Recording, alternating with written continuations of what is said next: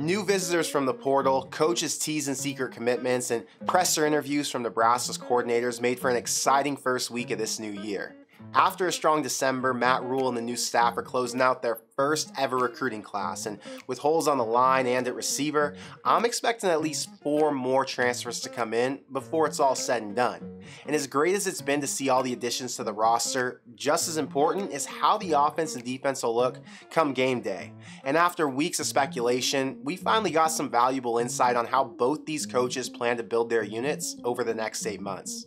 I've got plenty of thoughts on what's been going on this past week. So today, I'm breaking down the latest transfer portal news and I'll give you my thoughts on the recent comments from Tony White and Marcus Satterfield.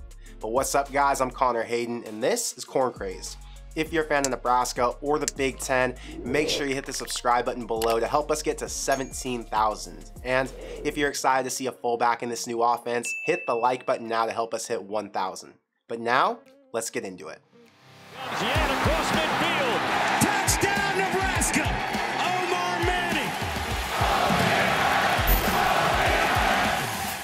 I want to start off with the three transfer portal visitors from this week. They had Micah Mazzccua from Baylor, Billy Kemp from Virginia, and Walter Rouse from Stanford, and all three of them would make an impact day one. Mike is a 6'5, 330 pound guard who started 10 games this year and ranked in the top 25 nationally by PFF as a run blocking interior lineman.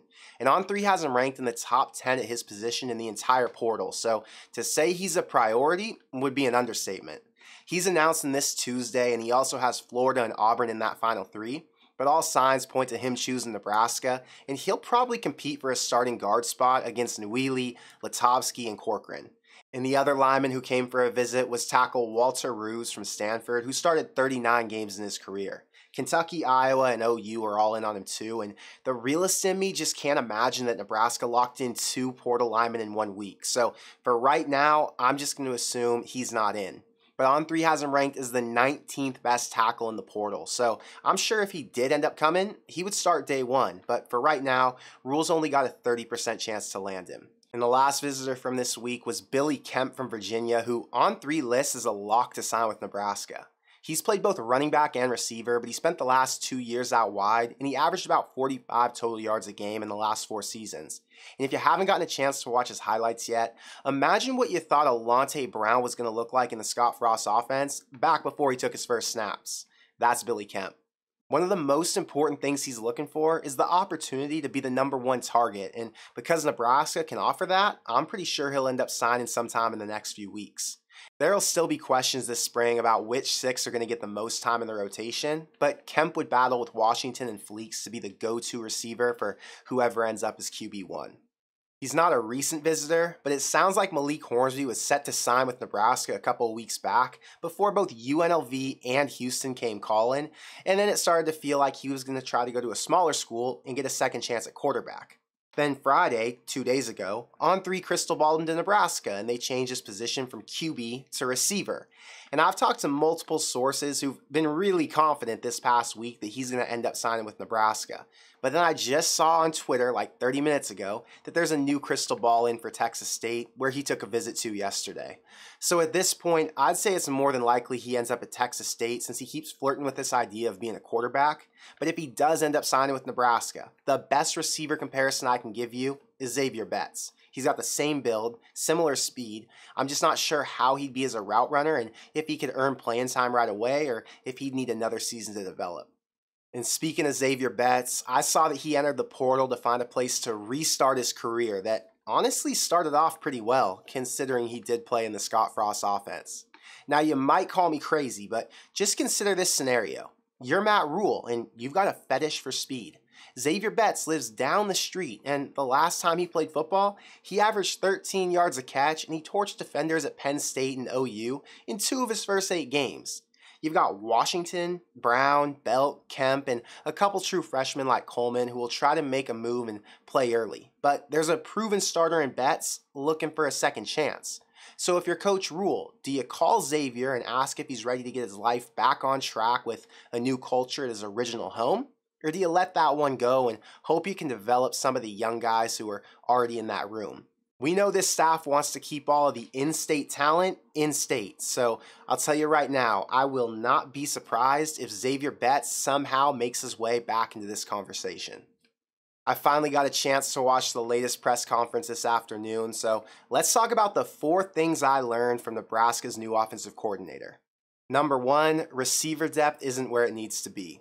We talk a lot about the line being questionable and how important it'll be to remake that into a serviceable unit. But until this week, with the talk around some of the transfers at receiver, I haven't heard too much about the current group. Satterfield made a point that the depth was thin, and the most important thing to take into account was that you need different types of receivers to make up each position. Ideally, the offense has a big body possession receiver who can win a contested ball, a speed guy who can win over the top, and a slot guy who can rack up yards after the catch and play kind of like a running back. Marcus Washington, Alante Brown, and Brody Belt are the three main contributors returning, and they all possess a similar skill set. So, developing some of the young guys early is going to be a key to the offense's success going forward. Number two, the huddle's making a comeback. It's been a long time since I stood in the huddle during a football game. Probably haven't done that since I was about 12 years old. But as I listened to the OC describe why it's such an important part of the game, I started to remember my own experiences. Satterfield believes in the huddle because it gives the QB a chance to lead and to communicate with every guy in the offense before they head out to run a play as a unit. And in the modern offense, we just see the entire group look to a play card or a hand signal on the sideline. The QB claps his hands, and they repeat that process all game. There's no real leadership or one on one opportunity to connect as a group and talk about individual assignments unless it's after a drive. He didn't say this in the presser, but a huddle slows the game down quite a bit, and it can significantly reduce the play count, which will make this 2023 offense look a lot more like the Iowa and Wisconsin teams we've seen in the past less possessions and less plays, but also less opportunities for the opponents to get the ball and ultimately wear down the defense. Number three, Nebraska's finally going to have a fullback. One of the most popular Satterfield comments that got shared around social media was about running a pro style offense with tight ends and the fullback.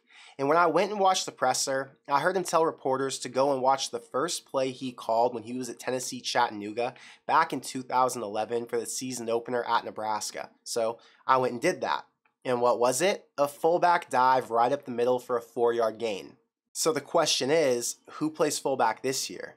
Well, if I had to make a prediction, I'm going to guess that they move one of the tight ends over for now, and then in the future, they're going to actually start recruiting for that position. And number four, Satterfield will make the O line a priority. I was surprised with how open he was about the initial meeting with Raiola because he basically said he was looking for reasons to not like the guy and that the expectation was to bring in a more familiar name who could coach that group. But after their first meeting, Satterfield was thoroughly impressed with Raiola's approach and how much he loved Nebraska, and he quickly became his biggest advocate and he pushed Matt Rhule to make him part of this next staff.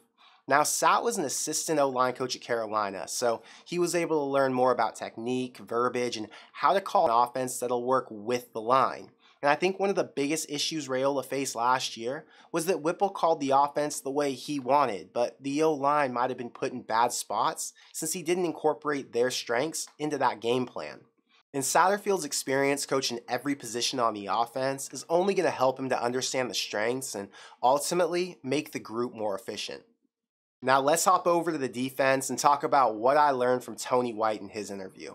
Number one, there's plenty of returning talent to work with. White implied it's normal to assume you're inheriting scraps in a coaching change like Nebraska's experiencing, but that he's seen a lot to be excited about. And the group that gets the most love, especially since the 3 3 5 requires strong second level play, are the linebackers. And he mentioned Henrich and Reimer by name as guys who the defense can build around in the first year. All four starting DBs return, along with Hutmacher and Ty Robinson on the line. So, as long as they can learn their role in the new system, this first year defense will feature plenty of talent. Number two, the Black Shirts will make a return. We just don't know when. Every staff has their own ideas for when and how to distribute them, and one of the best things Mickey did as a head coach last year was take them away altogether. There are some traditions that are so special, your most important job as a coach is to protect it at all costs so it doesn't lose its value. And Tony White understands this as much as any Nebraska fan does. So he said he won't make any decisions on black shirts until he talks to former players and coaches about the significance and the meaning and learns the right way to handle such a meaningful honor. Number three, the 335 isn't the only front they'll line up in. There's still a ton of questions about how the defense will look come week one, but one of the most important points White covered is that they won't be limited to a three man front. They can use four or five down linemen depending on what the offense comes out in, and the linebacker count will just drop as they move the bigger bodies up to the line. Even if the base D calls for a front six instead of a front seven, the staff's going to adjust their play calls and the formations to fit the personnel they have currently, and over time, they'll recruit to fill the roles for their base formation. And last at number four, although they're young, this staff's proven. White emphasized the importance of being a great recruiter if you're going to be a part of Matt Rhule's staff. And based on what we've seen so far and what we saw on all these new hires' resumes, that point holds true. As fans, we love seeing the big time commitments and the jump to the top of the class rankings, but in the back of most of our heads, we still get nervous about how good the staff can be with such limited experience over these past couple years. Two names Tony mentioned that bring a lot to the table were Terrance Knighton and Evan Cooper, who both came over from the Panthers staff, and their experience working with NFL guys and competing against elite talent like Joe Burrow and Tom Brady make them more than qualified to lead their position groups at Nebraska.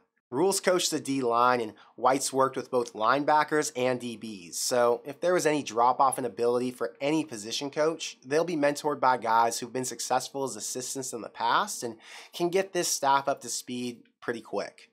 We talk about splash hires and want to believe that whoever has the biggest name or the most recent success is the right guy for the job. But looking back at Mark Whipple and how much this offense struggled last year, it's apparent that it takes the right team of coaches to make the entire unit work, and that one good play caller isn't enough to fix all the issues. The most important thing I learned from these interviews was that Rhule chose coaches who believe in his vision and who understand what it takes to execute his plan. So, for the first time in years, it'll feel like a more collaborative effort. But I want to know what you think, so let me know in the comments below. Are you excited to get back to a huddle, or do you think that's taking a step backwards now that the modern offense avoids that step? Should the black shirts be handed out before week one, or do you think they need to play a few games first to find out who deserves to wear them? And which transfers do you think are going to sign with Nebraska this next week? If I had to guess, I would say Kemp and Mazzccua, and if Matt Rhule's interested, probably even Zavier Betts. But that's all I've got for today, so thank you for being here, and I'll see you in the next one. Go Big Red.